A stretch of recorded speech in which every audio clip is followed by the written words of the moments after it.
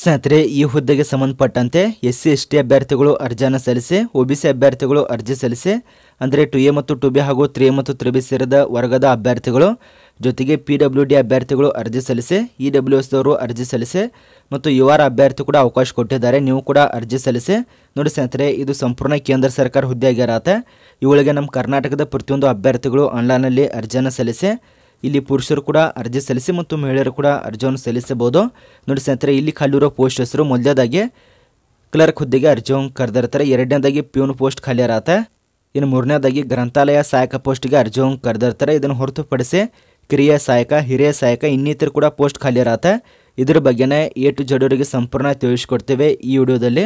ಇದಕ್ಕೆ ಯಾವ ರೀತಿಯಾಗಿ ಅರ್ಜಿಯನ್ನು ಸಲ್ಲಿಸಬೇಕು. ಇನ್ನೊಂದು ಸ್ನೇಹಿತರೆ ಇದಕ್ಕೆ ಅರ್ಜಿ ಸಲ್ಲಿಸಿದವರಿಗೆ ನೀವೇನಾದರೂ ಆಯ್ಕೆ ಆದರೆ ನಿಮಗೆ ಯಾವುದೇ ರೀತಿಯ ಪರೀಕ್ಷೆ ಇರೋದಲ್ಲ, ದೈಹಿಕ ಪರೀಕ್ಷೆ ಕೊಡಿರೋದಿಲ್ಲ ಮತ್ತು ಲಿಖಿತ ಪರೀಕ್ಷೆ ಕೊಡಿರೋದಿಲ್ಲ ಡೈರೆಕ್ಟ್ ನಿಮಗೆ ಸಂದರ್ಶನ ಮುಖಾಂತರಾಗಿ ನೇರವಾಗಿ ದಾಖಲಾತಿ ಪರೀಕ್ಷೆ ನಡೆಸಿ ಆಯ್ಕೆಯನ್ನು ಮಾಡ್ತಾರೆ. ಇನ್ನು ಎರಡನೇ ಗುಡ್ ನ್ಯೂಸ್ ಏನಂದರೆ, ಇವುಗಳಿಗೆ ಸಂಬಂಧಪಟ್ಟಂತೆ ವರ್ಗದಲ್ಲಿ ವಯಸ್ಸಿನ ಮಿತಿ ಕೂಡ ಸರಿಲಿಕ್ಕಿರತ್ತೆ ಒ ಬಿ ಸಿ ಅಭ್ಯರ್ಥಿ, ಎಸ್ ಸಿ ಎಸ್ ಟಿ ಅಭ್ಯರ್ಥಿ, ಪಿ ಡಬ್ಲ್ಯೂ ಡಿ ಅಭ್ಯರ್ಥಿ, ಇದನ್ನು ಹೊರತುಪಡಿಸಿ ಆರ್ ಅಭ್ಯರ್ಥಿಗೆ ವಯಸ್ಸಿನ ಮಿತಿ ಕೂಡ ಸರಿಲಿಕ್ಕಿರತ್ತೆ ಅದೆಷ್ಟು ಸರಿಲಿಕ್ಕಿರತ್ತೆ ಏನು ಅಂತ ತಿಳಿಯೋದು ಮುಂದುಗಡೆ ತಿಳಿಸ್ಕೊಡ್ತೇವೆ. ನೋಡಿ ಸ್ನೇಹಿತರೆ, ಇದ್ರ ಬಗ್ಗೆನ ಸಂಪೂರ್ಣವಾಗಿ ಮಾಹಿತಿ ಇರತ್ತೆ. ಆದಷ್ಟು ವಿಡಿಯೋನ ಸ್ಕಿಪ್ ಮಾಡದೆ ಕೊನೆತನಕ ನೋಡಿ ಮತ್ತು ಇನ್ನೂರಿಗೆ ಆರಾಮ್ ಚಾನಲನ್ನು ಸಬ್ಸ್ಕ್ರೈಬ್ ಮಾಡಿಲ್ಲ, ಈಗಲೇ ಚಾನಲನ್ನು ಸಬ್ಸ್ಕ್ರೈಬ್ ಮಾಡಿಕೊಂಡು ಬಾಜುಕಿನ ಬೆಲ್ ಬಟನ್ ಕೂಡ ಆಲ್ ಮೇಲೆ ಪ್ರೆಸ್ ಮಾಡ್ಕೊಳ್ಳಿ. ನಾವು ಹಾಕೋಲ್ಲ ಹೊಸ ಹೊಸ ಅಪ್ಡೇಟ್ಗಳು ನಿಮಗೆ ನೋಟಿಫಿಕೇಶನ್ ಮುಖಾಂತರ ಬಂದು ಬೇಗನೆ ತಲುಪ್ತದೆ. ಸ್ನೇಹಿತರೆ, ಇಲ್ಲಿ ಕಲ್ಲಿರೋ ಪೋಸ್ಟ್ ಹೆಸರು ಸಂಪೂರ್ಣ ತಿಳಿಸಿಕೊಟ್ಟಿದ್ದಾರೆ. ಈ ಒಂದು ಪಿ ಡಿ ಎಫ್ ಫಾರ್ಮನ್ನು ಆದಷ್ಟು ನಮ್ಮ ಟೆಲಿಗ್ರಾಮ್ ಗ್ರೂಪ್ನಲ್ಲಿ ಕೊಟ್ಟಿರ್ತೀವಿ ಅಲ್ಲಿದ್ದಂತ ನೀವು ಡೌನ್ಲೋಡ್ ಮಾಡಿಕೊಂಡು ಇನ್ನಷ್ಟು ಹೆಚ್ಚಿನ ಮಾಹಿತಿ ಕೂಡ ಪಡೆದುಕೊಳ್ಳಿ. ಇಲ್ಲಿ ಕಲ್ಲಿರೋ ಪೋಸ್ಟ್ ಹೆಸರು ಒಂದೊಂದಾಗಿ ತಿಳಿಸ್ಕೊಡ್ತೀನಿ. ಮೊದಲನೇದಾಗಿ ರಿಜಿಸ್ಟ್ರಾರ್ ಪೋಸ್ಟಿಗೆ ಅರ್ಜಿಯನ್ನು ಕರೆದಿರ್ತಾರೆ. ಎರಡನೇದಾಗಿ ಇಲ್ಲಿ ಉಪ ಒಂದು ನೋಂದಣಿ ಅಧಿಕಾರಿ ಪೋಸ್ಟಿಗೆ ಅರ್ಜಿಯನ್ನು ಕರೆದಿರ್ತಾರೆ. ಎರಡನೇದಾಗಿ ಕಾರ್ಯನಿರ್ವಾಹಕ ಇಂಜಿನಿಯರ್ ಪೋಸ್ಟ್ ಖಾಲಿ ಇರತ್ತೆ ಇಲ್ಲಿ ನೋಡಿ ಸ್ನೇಹಿತರೆ, ಸಹಾಯಕ ಸಲಹೆಗಾರ ಪೋಸ್ಟ್ ಖಾಲಿ ಇರತ್ತೆ ಇಲ್ಲಿ ಸಹಾಯಕ ರಿಜಿಸ್ಟರ್ ಹುದ್ದೆಗೆ ಅರ್ಜಿಯನ್ನು ಕರೆದಿರ್ತಾರೆ.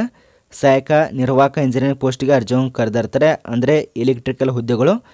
ಮತ್ತು ನಿರ್ವಹಣಾ ಅಧಿಕಾರಿ ಪೋಸ್ಟಿಗೆ ಅರ್ಜಿಯನ್ನು ಕರೆದಿರ್ತಾರೆ. ವೈದ್ಯಕೀಯ ಅಧಿಕಾರಿ ಪೋಸ್ಟ್ ಖಾಲಿ ಇರತ್ತೆ ಸುರಕ್ಷಿತ ಅಧಿಕಾರಿ ಪೋಸ್ಟ್ ಖಾಲಿ ಮತ್ತು ಟೆಕ್ನಿಕಲ್ ಅಧಿಕಾರಿ ಹುದ್ದೆಗಳು ಜೂನಿಯರ್ ಆಫೀಸರ್ ಹುದ್ದೆಗಳು ಇದನ್ನು ಹೊರತುಪಡಿಸಿ ಗ್ರಂಥಾಲಯ, ಮಾಹಿತಿ ಸಹಾಯಕ ಹುದ್ದೆಗೆ ಅರ್ಜಿಯನ್ನು ಕರೆದಿರ್ತಾರೆ ಮತ್ತು ಕಿರಿಯ ಸಹಾಯಕ ಹುದ್ದೆ ಕೂಡ ಖಾಲಿ ಇರತ್ತೆ ನೋಡಿ ಸ್ನೇಹಿತರೆ ಲೈಬ್ರರಿ ಅಸಿಸ್ಟೆಂಟ್ ಹುದ್ದೆ ಕೂಡ ಅರ್ಜಿಯನ್ನು ಕರೆದಿರ್ತಾರೆ ಜೂನಿಯರ್ ಸಹಾಯಕ ಅಂತ. ಇದರಲ್ಲಿ ಯಾವ ಬೇಕಾದ ಒಂದು ಹುದ್ದೆಗೆ ನೀವು ಅರ್ಜಿ ಸಲ್ಲಿಸಲು ಅವಕಾಶ ಇರೋದು, ಎಲ್ಲ ಹುದ್ದೆಗೆ ನೀವು ಅರ್ಜಿ ಸಲ್ಲಿಸ್ತೀನಿ ಅಂದರೆ ಅದು ಆಗೋದಿಲ್ಲ. ಆದಷ್ಟು ಇಲ್ಲಿ ಒಂದು ಹುದ್ದೆಗೆ ಅರ್ಜಿ ಸಲ್ಲಿಸಿ ಇವುಗಳಿಗೆ ಸಂಬಂಧಪಟ್ಟಂತೆ ಶೈಕ್ಷಣಿಕ ಅರ್ಹತೆ ನೋಡಿ.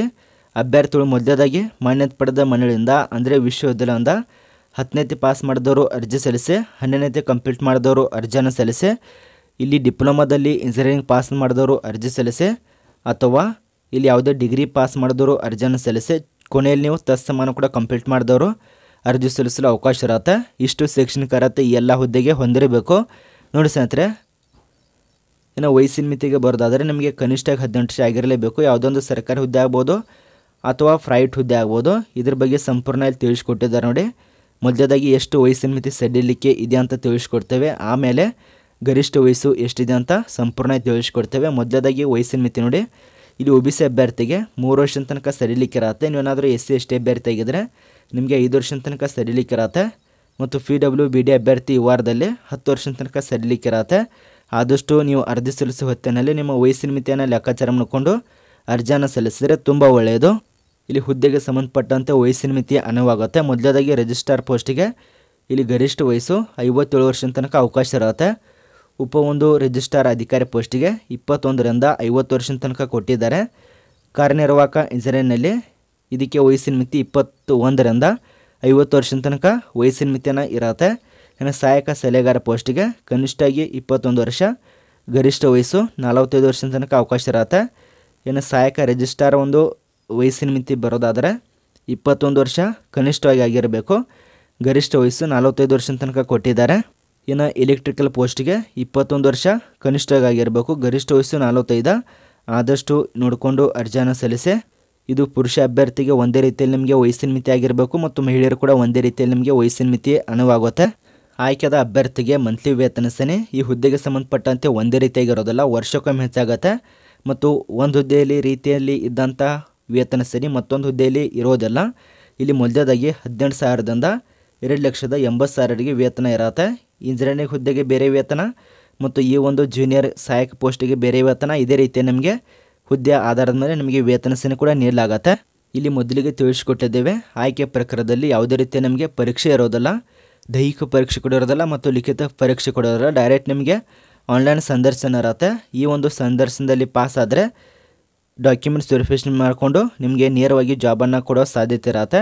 ಇಲ್ಲಿ ನೋಡಿ ಸ್ನೇಹಿತರೆ, ಸಂಪೂರ್ಣವಾಗಿ ಆನ್ಲೈನಲ್ಲಿ ರಿಜಿಸ್ಟರ್ ಆಗಬೇಕಂದ್ರೆ ಈ ಡಿಸ್ಪ್ಲೇ ಒಂದು ವೆಬ್ಸೈಟ್ ಕಾಣಿಸ್ತಾ ಇದ್ದಲ್ಲ ಈ ವೆಬ್ಸೈಟಿಗೆ ಭೇಟಿ ನೀಡಿಕೊಂಡು ಎಲ್ಲ ಅಭ್ಯರ್ಥಿಗಳು ಆನ್ಲೈನಲ್ಲಿ ರಿಜಿಸ್ಟರ್ ಆಗಿ ಆಮೇಲೆ ಲಾಗಿನ್ ಮಾಡಿಕೊಂಡು ಅರ್ಜಿಯನ್ನು ಸಲ್ಲಿಸಿ ಅಥವಾ ಇದ್ರ ಬಗ್ಗೆ ಏನಾರು ಕೂಡ ಡೌಟ್ಸ್ ಅನ್ಸಿರು ಕಮೆಂಟ್ ಬಾಕ್ಸ್ಲಿ ಕೂಡ ಕಮೆಂಟ್ ಮಾಡ್ಬೋದು.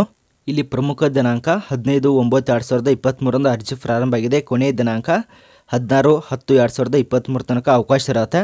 ಒಂದು ತಿಂಗ್ಳು ಟೈಮ್ ಅಂತೇಳಿ ಯಾರು ಕೂಡ ಕೊಂಡ್ರೋಕೋಬೇಡಿ ಆದಷ್ಟು ಎಲ್ಲ ಅಭ್ಯರ್ಥಿಗಳು ಬೇಗ ಅರ್ಜಿ ಸಲ್ಲಿಸಿ ಕೊನೆಯ ದಿನಾಂಕದಂದು ನೀವು ಹೋದರೆ ತುಂಬ ಅಂದರೆ ತುಂಬ ಸರ್ವರ್ ಬಿಜಿ ಆಗತ್ತೆ.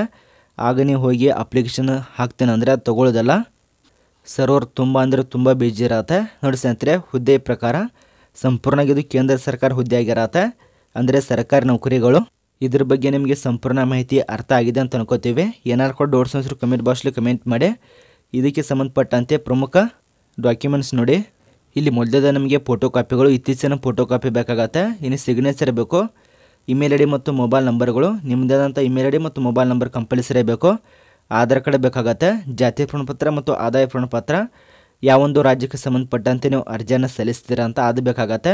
ಯಾಕಂದರೆ ಕೇಂದ್ರ ಸರ್ಕಾರ ಹುದ್ದೆ ಇರೋದ್ರಿಂದ ಶೈಕ್ಷಣಿಕ ಅಂಕಪಟ್ಟಿ ಹತ್ತನೇತ್ ಮೇಲೆ ಅರ್ಜಿ ಸಲ್ಲಿಸಿದರೆ ಟೆಂತು ಮಾರ್ಕ್ಸೀಟ್ ಬೇಕಾಗತ್ತೆ ಡಿಗ್ರಿ ಮೇಲೆ ಅರ್ಜಿ ಸಲ್ಲಿಸಿದರೆ ಡಿಗ್ರಿ ಅಂಕಪಟ್ಟಿ. ಏನಾದರೂ ಪಿ ಯು ಸಿ ಮೇಲೆ ಅರ್ಜಿ ಸಲ್ಲಿಸಿದರೆ ಪಿ ಯು ಸಿ ಅಂಕಪಟ್ಟಿ ಬೇಕಾಗತ್ತೆ. ಮತ್ತು ಕನ್ನಡ ಮಾಧ್ಯಮ ಮತ್ತು ಗ್ರಾಮೀಣ ಮಾಧ್ಯಮಗಳು ಇದನ್ನು ಹೊರತುಪಡಿಸಿ ಆಧಾರ್ ಕಾರ್ಡ್ ಕಂಪಲ್ಸರಿ ಬೇಕು. ಐ ಡಿ ಪ್ರೂಫ್ ನಿಮಗೆ ಪ್ಯಾನ್ ಕಾರ್ಡ್ ಕೇಳ್ತಾರೆ. ಇಷ್ಟು ಡಾಕ್ಯುಮೆಂಟ್ಸ್ ಮುಖಾಂತರಾಗಿ ಅರ್ಜಿಯನ್ನು ಸಲ್ಲಿಸಿ. ನೋಡಿ ಸ್ನೇಹಿತರೆ, ಇದಕ್ಕೆ ಸಂಬಂಧಪಟ್ಟಂತೆ ಏನಾರು ಕೂಡ ಡೌಟ್ಸ್ ಅನ್ಸರು ಕಮೆಂಟ್ ಬಾಕ್ಸ್ಟು ಕಮೆಂಟ್ ಮಾಡಿ. ಇವರೇ ನಿಮ್ಮ ಇಷ್ಟ ಆದರೆ ಒಂದು ಲೈಕನ್ನು ಕೊಡೋದನ್ನು ಮರೆಯಾಕೋಬೇಡಿ ನೀವು ಒಂದು ಲೈಕ್ ಕೊಡೋದ್ರಿಂದ ಯೂಟ್ಯೂಬ್ ಬೇರೆದ ಕೂಡ ರೆಕಮೆಂಡ್ ಮಾಡುತ್ತೆ, ನಿಮ್ಮಿಂದ ಮತ್ತೊಬ್ಬರು ಕೂಡ ಉಪಯೋಗ ಆಗುತ್ತೆ. ಆದ ಕಾರಣಕ್ಕಾಗಿ ಒಂದು ಲೈಕನ್ನು ಕೊಡಿ. ನಾವು ಮತ್ತೆ